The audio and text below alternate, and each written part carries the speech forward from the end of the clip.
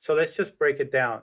It's a light surface, almost off-white, and it's a very quick schematic drawing, or looser than Titian, but nevertheless quite correct.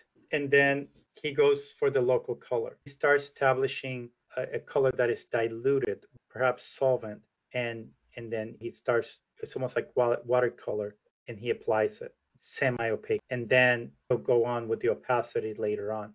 A light ground is going to allow you to to wash the color in like this.